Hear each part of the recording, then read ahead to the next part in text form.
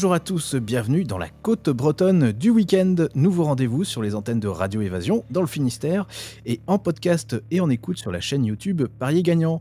Le principe de la côte bretonne du week-end, c'est tout simple, une émission de paris sportif et puis une émission de sport tout simplement. Forcément, pour un pari, il faut analyser et parler des équipes. Et puis, pour un petit peu anticiper les choses, on a besoin de spécialistes dans cette émission. Pour en discuter, on retrouve une équipe que vous connaissez pour certains. Bonjour Benoît. Bonjour tout le monde.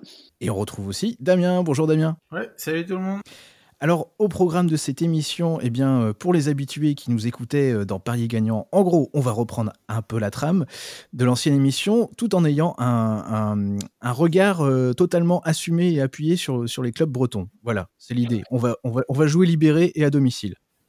C'est ça, tout à fait plus près. Alors pour cette première émission, forcément, on va s'intéresser euh, à la Ligue 1 et à nos clubs bretons. Mine de rien, il y en a un sacré paquet. Je dis mine de rien, non, c'est pas vrai. Mine de rien, il y a du monde en Ligue 1 chez les Bretons.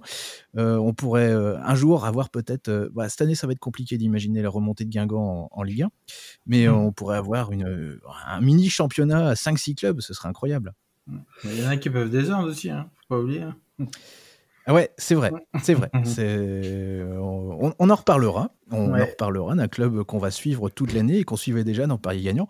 Euh, peut-être que celui-ci euh, va peut-être nous filer quelques petites sueurs froides, surtout si euh, on, va, on, va, en reparler. On, on va pas trop faire trop de tigres. on va parler aussi, eh ben, de manière appuyée, comme d'habitude, on va parler de hand et du Brest-Bretagne Handball, un club que, que, vous avez la particularité de suivre régulièrement. Vous avez été à l'arena voir des matchs cette année? Ouais, tous. Oui. Euh, ah non, moi pas tous. Non, non moi je sélectionne. Hmm. je sélectionne mes matchs. Moi je suis allé voir Guillaume. Euh, match pas très loin. Voilà, c'est ça. Match qu'on perd. Euh, on sait pas quoi. Enfin, match on, nul. On, fait match nul. On fait match nul. On sait pas trop comment, alors qu'on aurait dû gagner. Euh, et puis, mais bon, depuis, il y a eu de l'eau qui a coulé sous sous les ponts. On a deux blessés. Et mine de rien, ça, ça modifie beaucoup le niveau de jeu de, de l'équipe. Donc, on, on pourra en reparler. Ok, très bien. Ça, ce sera en deuxième partie. Et puis, euh, forcément, pour les habitués de l'ancienne émission Paris Gagnant, eh bien, certains vont attendre, euh, vont attendre avec impatience euh, vos paris. alors là, on pourra sortir complètement de la Bretagne, c'est free, hein, parce que c'est vrai que là, pour le coup, s'il faut rester sur les clubs bretons, bon, des fois, il y a des petits coups à faire, mais pas tout le temps, quoi. C'est ça. C'est pas... faut qu'on ait des infos, nous. Et puis euh, en fin d'émission, eh bien, on reprendra une, ancienne habitude de Paris gagnant, mais là d'il y a quelques années, c'était le coaching, et euh, c'est-à-dire que le, petit, euh, le, petit, le petit débutant que je suis continuera et fera sans doute encore plein de bêtises. Mmh. Et bah voilà, on, ira sur un petit truc qui me semblait intéressant. Bon, on verra bien, hein. on, verra ce qu'en penseront les gars en fin d'émission. Mise à 2 euros. Ouais, ouf, moins que ça, mon gars. Deux heures, je craque mon slip. on va rester sérieux. C'est la première de la côte bretonne du week-end. On va essayer de rester sage. On va pas dire de bêtises trop vite. Allez, ben, on commence par la Ligue 1. On s'intéresse euh, aux affiches des clubs bretons. Avec, euh, ben, tiens, on commence par le stade brestois. Qu'est-ce que vous en dites? On commence par euh, Brest qui reçoit Strasbourg. Comme par hasard. avec ah oui, l'année dernière, on, s'en rappelle de ce, de ce match qui avait été. Euh, c'était pas ce mmh. match-là qui avait, qui avait fait l'occasion d'un triplé euh, de Christian Batocchio. Si, c'est lui. C'est lui. Et avec un penalty d'Engoma, si je me trompe pas, pour euh, clore le spectacle. Ça avait terminé sur un 4-0. C'est ça. C'est ça. Oui, d'accord. J'y étais. Tu seras au match, Ben, là, ou c'est pas, ton... pas ta et, bah là, en fait, vu que ça tourne avec le Covid, si, si, moi j'ai le droit, j'ai le droit d'aller voir Strasbourg. Euh, donc j'y serai dimanche à 15h. Ouais. ok, je me demandais justement. Ouais, alors en fait, euh, pour l'instant, a priori, on ne passe pas euh, dans le 29, en tout cas, on, ne passe pas en zone de couvre-feu. Donc ça veut dire qu'il y aura du public. Oui, et ça, quand, quand, on suit, euh, quand on suit Brest, euh, on sait que Brest est une très bonne équipe à domicile et encore plus quand elle reçoit l'appui de, de, son public. Euh, là, sur ce, sur ce match, est-ce que, par exemple, vous iriez vous mettre une petite pièce sur, sur un match nul remboursé de Brest? Parce que la côte de Brest, elle a 2,30 sur ce match. est-ce que c'est pas le genre de truc qui se tente? Ouais, si bah, ça se tente. Ouais, si ça se tente, honnêtement, ouais. Moi, je l'aurais. C'était un truc que j'aurais que j'aurais conseillé parce que bon voilà Strasbourg c'est moyen et puis reste à domicile mine de rien cette année euh, c'est pas mal donc on gagne les matchs à la maison ou fait un résultat donc euh, là ça fait 2,30 donc euh, si on match nul remboursé on a combien? 45 comme ça Moi, ben? 1,55, 1,60, je pense. 1,50, tu vois. Ouais, donc 1,60, c'est plus que solide. Hein. Non, non, il y a moyen de faire quelque chose sur ça. Mais j'attends la compo pour voir la défense parce que j'ai de sérieux doutes sur, sur notre défense. c'est ce qui questionne souvent quand on regarde les, les, compos de Brest ces derniers temps quand même. Ça, ça, soulève. Je sais pas ce que vous en pensez si avant chaque match vous n'avez pas une petite interrogation? À chaque fois il y a une petite surprise qui fait que ah je l'attendais pas celle-là. Bah ouais. ouais, ouais, Par exemple le dernier match à Nantes Bâle j'ai été surpris. Je pensais qu'il allait mettre Fossurier. Euh, Mmh. Après, euh, après voilà, Perrault, j'ai rien à dire parce que bon, lui, lui, franchement, c'est pas pour rien qu'il a été deux trois fois dans l'équipe type euh, depuis le début de l'année. Mais après, ouais, c'est la mmh. défense centrale, je sais pas, j'ai l'impression a même l'Arsenal qui est très bon, ben il peut pas, il peut pas compenser. Euh, donc j'attends, voilà, j'attends la, la, la, compo de, de, la défense surtout. Euh, mais à la maison, c'est vrai que de toute façon, généralement on marque plus que ce qu'on encaisse. Donc on a quand même battu qui cette année Monaco on a battu euh, voilà qu'on a battu des équipes quand même euh, censées être assez solides. Donc euh, voilà je pense pas que Strasbourg enfin voilà je pense pas que Strasbourg vienne nous battre chez nous. On, on prendra au moins un nul mais bon je, je pense qu'on peut gagner. Après au foot vous savez les victoires sèches c'est toujours pareil. C'est ouais.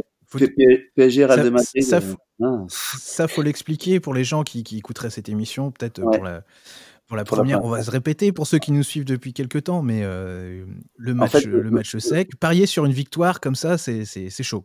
Bah surtout au foot, le foot c'est le sport avec des impondérables par excellence, euh, et le foot, à l'inverse par exemple d'un sport comme le rugby, c'est pas parce que tu vas dominer pendant 90 minutes que tu vas gagner. Au foot, la valeur d'un but a tellement d'importance que voilà, tu peux avoir un tir, un but, un tir cadré, et tu, tu blindes derrière. Euh, voilà, au rugby, par exemple, c'est pas possible. Au rugby, euh, tu il va pas avoir qu'une super grosse occasion dans, dans le match. Euh, voilà, donc euh, parce que ça, ça, ça, ça, enfin, je veux dire, ça, ça va d'un terrain à l'autre, euh, et, et c'est un jeu plus, comment j'allais dire, plus offensif que le que, que, que le foot au niveau de, de, de, nombre de points. Enfin, voilà, 1-0 ou 2-0, enfin, ça n'existe pas au, rugby. Mmh. Donc c'est ça, c'est euh, beaucoup d'impondérables au football, euh, voilà, donc qui fait que c'est un sport compliqué à parier. Alors me demandez pas pourquoi la majorité des gens parient sur le football, bah parce qu'ils voilà parce, qu'ils aiment ça, pas. simplement. Ouais, ouais c'est voilà, ils parient pas forcément pour gagner de l'argent, ils parient surtout pour mmh. avoir des sensations euh, et vibrer un peu, voilà. Bon, euh, donc c'est ça la raison, mais donc toujours essayer de se protéger au niveau du foot à moins d'avoir une grosse info. Là, si vous me dites que la cote de Brest est à 2,30 et que Strasbourg envoie ses juniors, Bon, bah, bien sûr que je vais jouer sur la côte de Brest à 2,30, hein, il n'y a pas de problème. Euh, ce qui peut être possible si un jour Strasbourg a du Covid. Mais euh, comme il se passe aujourd'hui dans d'autres championnats. Mais euh, voilà, Brest, euh, je préfère assurer avec un, un, match nul remboursé. Et ce qu'il faut dire aux gens, c'est que s'il y a match nul, ben, votre mise est remboursée. Donc c'est quand même intéressant euh, pour préserver votre, ben, votre capital de jeu. Mmh. Voilà, donc on privilégie surtout ce, ce type de pari. Mmh. Et il y a la Vite fait, moi je te coupe. Vas-y, vas-y. Euh, en ce moment, avec le, les, euh, le Covid euh, qui traîne, surtout, il faut parier au dernier, dernier moment. Parce que aujourd'hui, là, il est jeudi. Euh, samedi, d'ici samedi, il peut se passer plein de choses. Donc, faut essayer de vraiment de parier le plus tard possible parce qu'il peut se passer euh, beaucoup de choses en deux jours, des cas positifs, deux cas positifs, trois cas positifs. Il suffit que ça soit deux ou trois jours importants.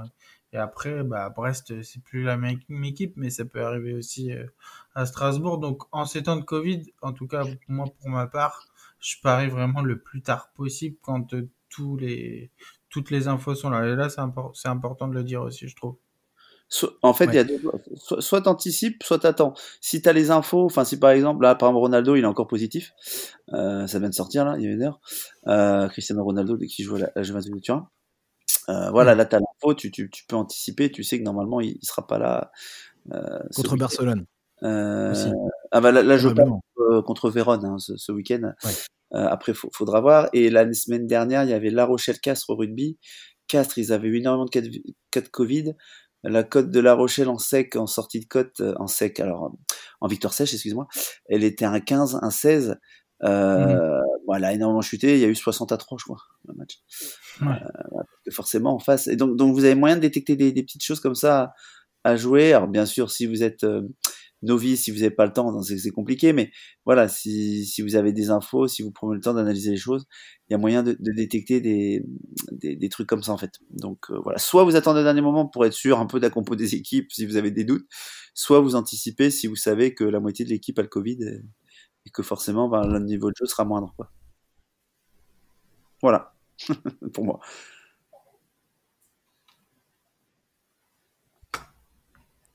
Alors, une petite question que, qui peut se poser aussi quand on, quand on suit Brest, c'est euh, l'importance euh, du public. Pour l'instant, on est à peu près euh, bien dans le 29, dans le Finistère, avec, avec, avec le couvre-feu. On n'en aurait pas, a priori, pas tout de suite.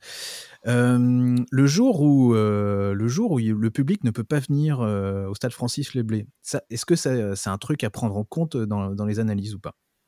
Bah ouais, c'est plus le même match. Hein. Pour moi, c'est plus un match amical que quoi amical plus. Et par exemple si Brest Strasbourg euh, se jouait euh, comme ça à huis clos euh, j'aurais pas pris Brest par exemple tu vois. J'aurais j'aurais pas joué sur ça. Ah, j'aurais un doute. J'aurais eu un doute. De toute façon il y a des on l'a vu pour la fin du championnat allemand là il y, a, y, a, eu beaucoup plus d'équipes qui ont gagné à l'extérieur. Et, et, je crois que c'est il y avait eu des études qui avaient été faites aux États-Unis et tout sur euh, sur les différents sports majeurs américains euh, que voilà euh, que si t'avais pas de public ou si pendant ou si tu, tu commençais une nouvelle saison avec une nouvelle salle par exemple bah tes résultats étaient moins bons en fait parce que tes repères changeaient par rapport à la salle et, et ta motivation était peut-être moins s'il n'y avait pas de public. Et on l'a vu d'ailleurs, Pierre, on en avait parlé dans la bulle NBA, tu as vu ce qui s'est passé. Euh, Normalement, tu es censé, quand tu es premier au classement, deuxième, troisième, avoir l'avantage à domicile. Et eh ben là, c'était pas vraiment le cas parce qu'ils jouaient dans mmh. un terrain neutre et tu as eu des surprises quand même. Et euh, juste à titre d'exemple, on a pu le voir aussi euh, mardi soir en, Ligue des Champions, quand on voit l'ambiance au Roison Park euh, qui, mmh. qui, était belle, qui était vraiment belle. C'était 5000 spectateurs qui ont, qui, ont foutu, qui ont, mis, qui, ont mis, qui, ont mis, littéralement le feu. on, sent, on, sent, que ça a une influence sur le cours du match aussi, quoi. ça pousse. On sent que quand il y a une situation de Ouais. Si tu regardes PSG, euh, le match du PSG, euh, ça reflète exactement ce que tu dis. Il n'y avait pas de public, il n'y avait rien. Euh, comme disait Tourelle, ça a été un match vraiment bizarre parce que d'habitude, les joueurs, ils mettent de la musique, ils font ça. Et là, pas du tout, tu vois. Je pense qu'ils ont pris ça un peu à la légère. Ils savaient qu'il y avait personne dans le stade. L'ambiance était complètement différente. Bah, ça s'est vu sur le terrain tout de suite. Faut écouter d'ailleurs, tiens, si parce qu'elle est disponible sûrement euh, partout. Euh, euh, la, bah, son interview d'après-match de Tourelle est vachement intéressant justement euh, sur ce qu'il explique du non-match du Paris Saint-Germain. Euh, C'était quand mardi, mardi, mardi soir contre Manchester United. Très bien. Alors on en a parlé euh, un tout petit peu, on a parlé du, du, match de Rennes qui avait lieu ce mardi soir contre Krasnodar, les Russes. Euh, Rennes, euh, Rennes va, va, jouer très vite après ce match, euh, va jouer vendredi, va recevoir Angers, un derby presque de l'Ouest. Euh, alors ce match, ça c'est un truc toujours, vous l'avez répété assez régulièrement au cours des, précédentes émissions de Paris Gagnant, c'est euh, suivre euh, l'équipe, une équipe qui joue euh, en semaine en compétition européenne et la revoir après en championnat. Et là, Rennes, typiquement, c'est après un premier match où il y a quand même eu pas mal, pas mal d'énergie qui a été dépensée, c'est de surveiller un petit peu qu'est-ce qu'il pourrait faire contre Angers. Et là, pour le coup, vous en pensez quoi? Parce que Rennes a 1,75 en victoire, en victoire sèche, c'est pas super méga intéressant non plus, quoi. Non, moi, j'y vais pas du tout. Non, mais c'est pas tout de suite que je vais parier, euh, pas l'inverse, mais où je vais prendre des handicaps, euh, où je vais prendre des, des les équipes outsiders avec un, un, avantage de but. On appelle ça des handicaps, mais euh, non, si tu voudrais revenir plus tard, Pierre-Yves. Bah, carrément, bah vas-y, explique. Hein. Là, par exemple, tu verrais peut-être Angers perdre avec une différence de but assez minime, par exemple. Ou l'inverse. Mais j'irai pas encore parce que pour moi, Rennes est pas assez fatigué. En fait, Rennes va commencer. Alors, Rennes, allez, on va dire Rennes-Marseille pour moi, ils n'ont pas des effectifs euh, pour jouer deux matchs dans la semaine parce que les remplaçants sont moins bons que les titulaires. Euh, voilà, concrètement. Alors que par exemple, je joue pas au PSG, c'est peut-être pas vraiment le cas à part Neymar et Mbappé, mais mais euh, voilà, j'estime qu'il va falloir qu'ils se fatiguent un peu là. Donc là, ils vont jouer, ils ont joué cette semaine en semaine, ils vont jouer ce week-end, ils vont rejouer la semaine prochaine en Ligue des Champions, c'est ça? Mmh, Ouais, la Ligue des Champions cette année.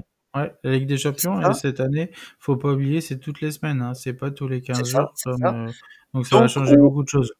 On y reviendra à l'émission la semaine prochaine où il y aura un derby Rennes-Brest et euh, on pourra en reparler parce que là, ça fera leur quatrième match en, même pas euh, deux semaines. Mmh. Et là, ça va avec, deux, avec 3-4 jours de récup entre les deux. Et ça va commencer à être intéressant de, à ce moment-là de, de, justement jouer contre ces équipes-là. Alors oui, le handicap, pour revenir, excuse-moi, euh, là, par exemple, Rennes-Angers, Rennes est favori à 1,80. Donc vous pouvez prendre, euh, enfin là je le prends pas parce que j'estime que Rennes sera pas encore assez fatigué, mais euh, euh, par exemple Angers, le handicap de Angers, c'est-à-dire qu'on leur donne des buts d'avance au départ du match pour rééquilibrer le match parce que là concrètement le bookmaker estime que Rennes va, quasiment 55-60% de chance de gagner. Donc pour rééquilibrer un peu le, match, on donne, de, on donne des buts d'avance à, à Angers. Euh, donc là, euh, concrètement, si Rennes était vraiment fatigué, euh, j'aurais peut-être pris un handicap de Angers plus 2, c'est-à-dire qu'en gros, au départ du match, on donne deux buts d'avance. Donc si Rennes gagne 2-0, ben, vous êtes remboursé. Si Rennes gagne 1-0, vous gagnez. Si Rennes fait match nul, vous gagnez aussi. Et il faudrait pour perdre de pari que Rennes gagne par 3 buts, 3-0 ou 4-1. Et généralement, c'est très intéressant ce type de pari-là. Bien sûr, les cotes, c'est pas du, des cotes à 3-4, mais vous pourrez avoir des cotes à 1,50, 1,60, 1,70 suivant le handicap que vous prenez. Euh, et généralement, voilà, ça c'est une des techniques euh, intéressantes à jouer. Attendre qu'une équipe, surtout en France, euh, euh nos équipes, enfin voilà quoi, c'est pas c'est pas le panier européen, et, et, on a du mal à avoir des équipes vraiment compétitives sur la longueur. En plus, en jouant deux championnats, tu vois, il y a un, Laurent un Lorient Marseille par exemple ce week-end. Ouais. Tiens, parlons-en de ce Lorient-Marseille. Euh, voilà, Lorient plus 1 par exemple, je le prendrai pas forcément non plus, mais parce que Marseille, j'ai toujours pareil, j'attendrai encore euh, une semaine. Euh, mais euh, t'as Marseille lance la semaine d'après. En plus, Marseille joue le vendredi. bon bah lance peut-être plus 1, plus 2 peut être intéressant, tu vois. donc donc voilà, c'est après c'est l'expérience, hein, voilà, c'est à force des années que que je suis ça. Mais c'est voilà, il y a des équipes comme ça qui n'auront pas le potentiel et, et, et les, qualités physiques pour euh, pour tenir deux matchs dans la semaine, même si c'est des pros, il hein, n'y a pas de problème. Mais en face aussi, vous avez des pros, euh, et quand vous avez un pro qui joue un match par semaine et un pro qui joue deux matchs par semaine, la, la différence de niveau entre ces deux joueurs-là, ça me nuise euh, à l'avantage de, de l'outsider. Ouais, et puis là, pour le coup, pour revenir à, à Rennes, euh, c'est pas l'Europa League qui joue, c'est la Ligue des Champions, et ces matchs-là, ils vont sans doute les, les faire sans le frein, quoi. Ça va, ils vont tout donner, quoi. Bah, il l'a dit, euh, il a dit, Stéphane. il a dit l'entraîneur. hors de question de faire euh, comme ce que font euh, tous les clubs français en Europa League. Bah non. et puis franchement, la poule où ils sont, bon, malheureusement, ils n'ont pas battu Krasnodar parce que Krasnodar a marqué un but venu malheureusement pour eux. Mais ils, ont possibilité de, de, finir troisième et d'être reversés après en Europa League. Donc ce serait con de pas, ce serait con de pas la jouer à fond en fait. Mmh. C'est une Ligue des Champions, hein, tu la joueras peut-être pas durant des années après. Donc, euh, voilà, si tu la joues pas maintenant, tu la joues jamais. Hein.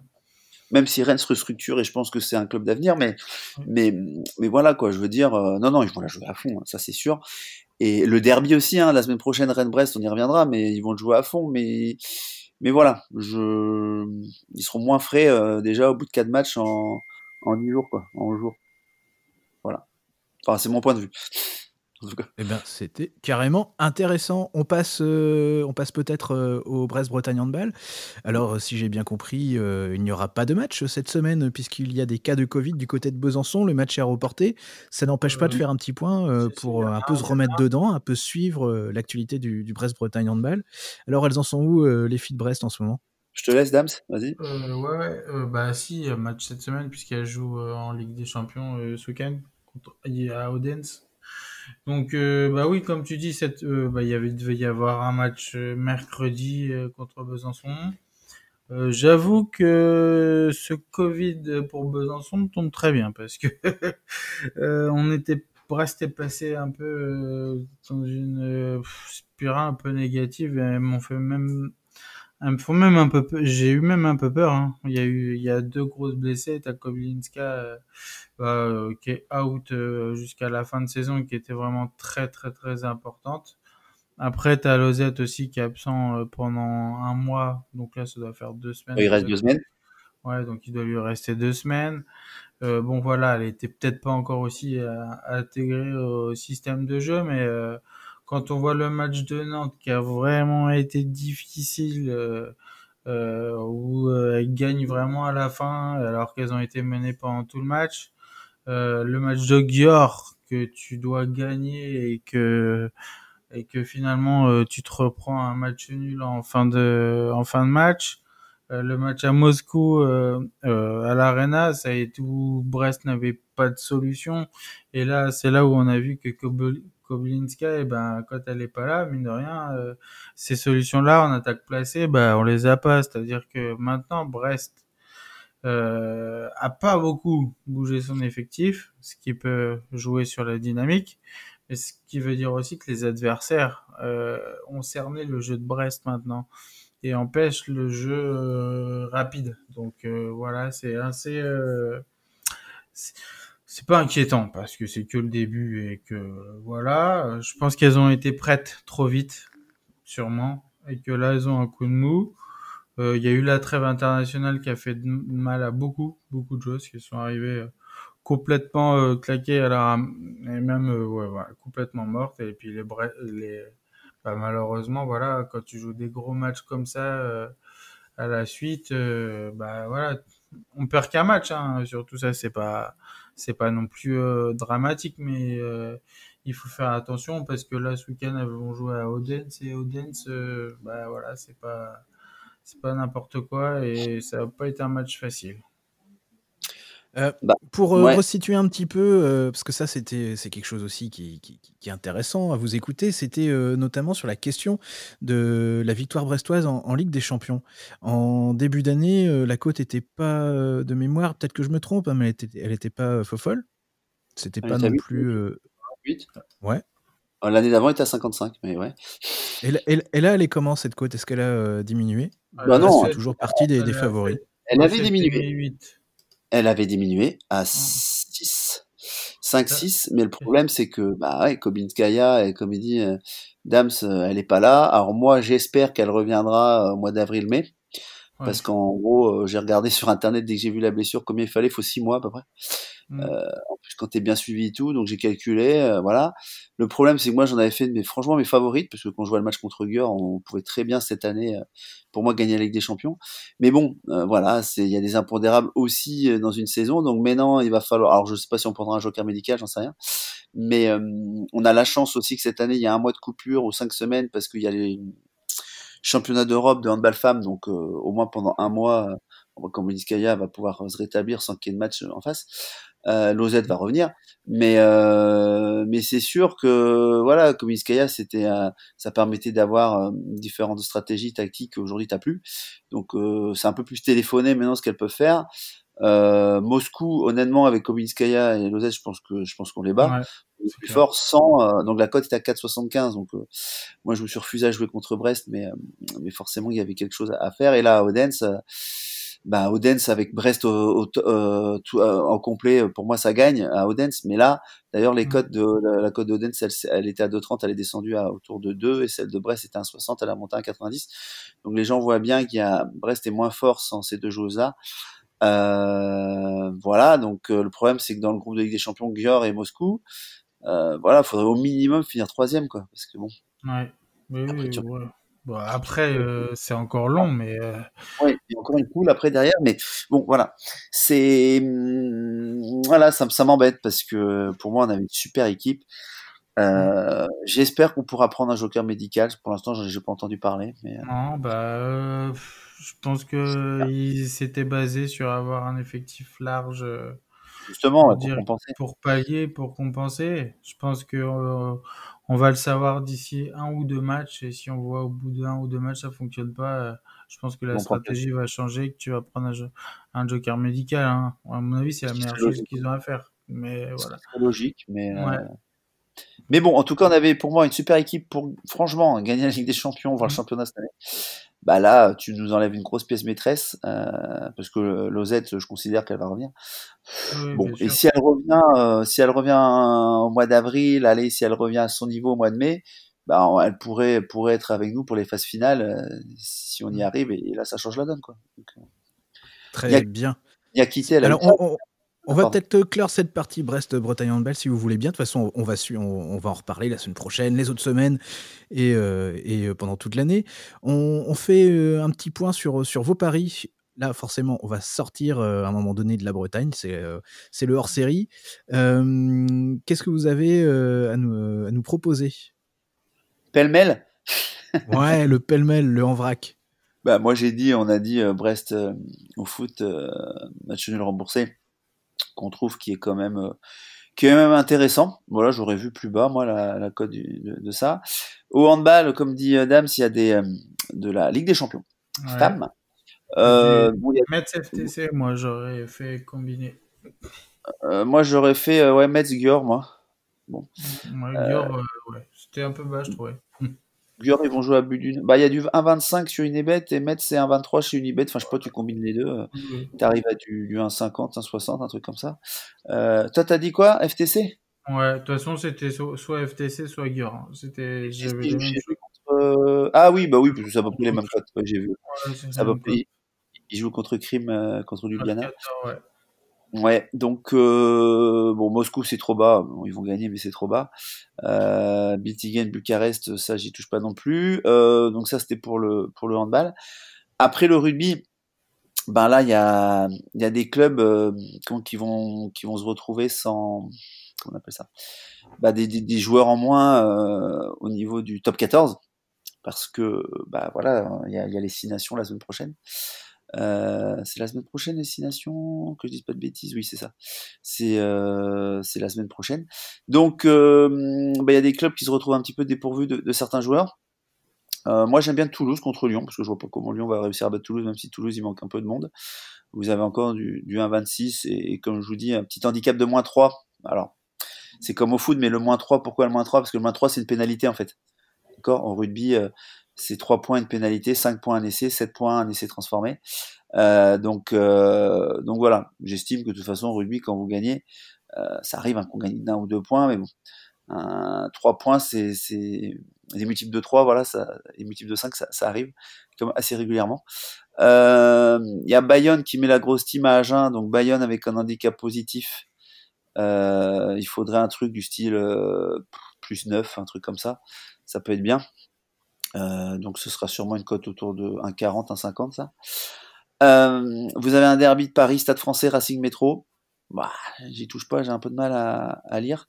Et vous avez aussi, euh, on appelle ça le derby de l'Atlantique, c'est La Rochelle, Bordeaux-Bègle. et je prendrais bien un handicap de Bordeaux à plus 9, plus 10, ouais. Un truc comme ça, donc le plus 9, plus 10, vous devez être autour d'un 60 quelque chose comme ça. Euh, voilà un petit peu ma carte, un petit peu tout ce que j'aime, euh, pêle-mêle, hein, comme je dis. Euh, il y a sûrement des, choses à faire et, en rugby on pourra en parler la semaine prochaine mais voilà quand vous avez des, sortes de doublons quand, des joueurs sont appelés en équipe internationale bah forcément il y a des équipes qui se retrouvent un petit peu handicapées D'ailleurs, ça a été, je sais pas si vous avez suivi, ça a été un gros problème entre la, mmh. la Ligue et la Fédération de rugby. Je sais pas si vous avez oh, ouais, un gros dossier. Et, et Damien, tu avais peut-être un, petit pari à nous proposer assez rapidement, parce que l'émission doit faire moins de 30 minutes. Ouais, bah, j'avais bah, j'avais le même j'avais les mêmes que Benoît en, Ligue des Champions féminines et j'avais un autre qu'on a je voulais en parler vite fait, on n'a pas fait. Il y a Lille Nice Nice Lille qui peut être sympa. Les deux équipes pour l'instant c'est un peu tôt parce que les équipes jouent ce soir parce que ce soir on est jeudi. Euh, donc euh, en état de fatigue, on va dire, ça sera pareil. Lille, c'est pas mal, c'est pas mal quand même, premier du championnat. Euh, nice assez régulier, 2,25 euh, la cote en victoire sèche, ce qui te fait un, sûrement un, 40, un 45 pour la match nul remboursé pour Lille. Mais on attend, je dis bien on attend les matchs de, de ce soir pour voir l'état des l'état des lieux. Ouais, les, les matchs en Coupe d'Europe. Voilà. Et euh, bon, on, va aller assez rapidement sur, mon, euh, sur, euh, sur ma demande de coaching. moi, j'étais parti sur Manchester contre Leipzig en, Ligue des Champions. Et la côte de Manchester à domicile me semblait assez intéressante à 2,30. Et j'imaginais un match nul, au moins faire un match nul remboursé quoi, avec, avec, avec un, petit avantage pour Manchester. Je ne sais pas si ça vous semble complètement débile pour l'instant. Euh, non, non, c'est pas débile. Après, euh, Euh, attention à, la poudre aux yeux de Manchester contre PSG parce que c'était vraiment un PSG apathique. Mmh. Euh, et Leipzig a l'habitude aussi ces dernières années de la Ligue des Champions. Je trouve tu, tu, tu, voulais prendre Manchester un match nul remboursé? Ouais. écoute, parce que Manchester. Ce serait quoi les trucs à, surveiller un petit peu avant quoi? Moi, honnêtement, je l'aurais évité parce que Manchester, quand tu vois en championnat ce qu'ils produisent, c'est courant alternatif en fait. Donc, euh, ouais, voilà. Euh, franchement, le match de Paris, euh, c'est pas, faut pas, faut pas se baser là-dessus. Quand tu faut se baser sur ce qu'ils font en championnat, Leipzig, voilà, mine de rien, en Ligue des Champions, ils sortent toujours des résultats. Donc, honnêtement, moi, j'y toucherai pas. Mais ouais, c'est pas le match le plus, ouais, le plus safe, enfin le plus safe, c'est le plus sûr à, pour essayer de, de de, de, gagner un billet ou au moins de, de, se le faire rembourser. Mais c'est vrai que bon, la semaine prochaine, les, la Ligue des Champions, euh, là on peut pas l'analyser parce qu'on n'a pas le temps, mais la Ligue des Champions c'est le mardi, mercredi, l'émission on l'a fait le jeudi. Euh. ouais. mais on s'arrêtera forcément pour parler des chances de Rennes de passer cette poule ou pas? Ah ou, de, ou, de, faire une petite troisième place qui serait sympa aussi. Il y a, un Atalanta euh... Amsterdam par contre, euh, avec l'Atalanta de Renobet qui peut être intéressant parce que un 30 à et voilà, l'Atalanta c'est encore planté. Ouais on pourrait durer deux heures l'émission, donc je, m'arrête là. Sur... Mais oui, mais oui, oui. Euh, avant de clore cette émission, Ben, tu voulais faire un petit, euh, un petit, euh, un petit débriefing avec les gens qui te suivent avec Paris Gagnant depuis, depuis quelques temps? Ouais, parce que j'avais fait une annonce comme quoi j'avais un, projet qui arrivait, le Covid dure, le Covid dure, le Covid dure. voilà, donc ça repousse d'autant l'échéance parce que mine de rien, enfin les, voilà, il y a, que ça, ça, ça, comment j'allais dire, ça, ça bouscule pas mal de, choses, euh, tout ça. Donc euh, voilà, moi je, repousse un petit peu ce que ce que j'avais prévu. D'où, c'est pour ça maintenant on, fait cette émission là, les codes bretonnes.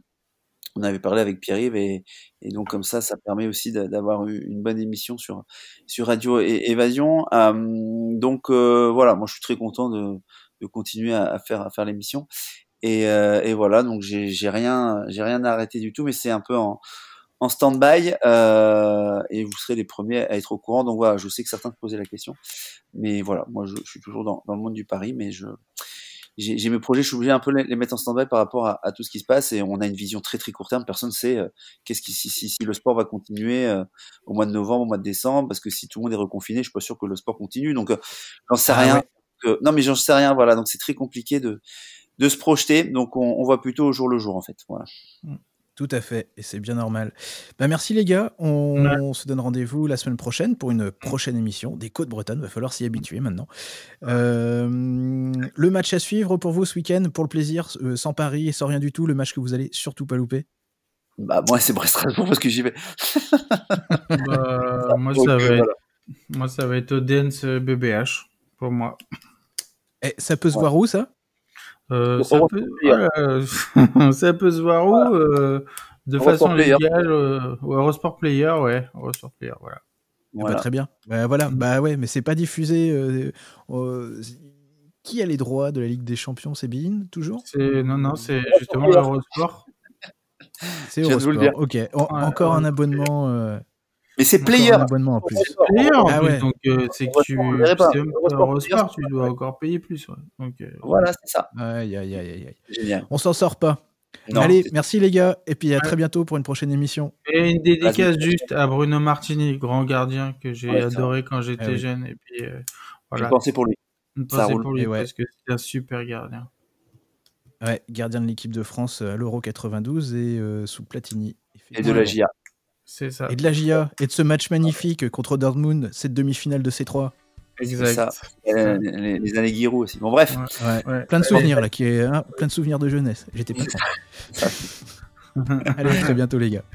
Ciao. Salut.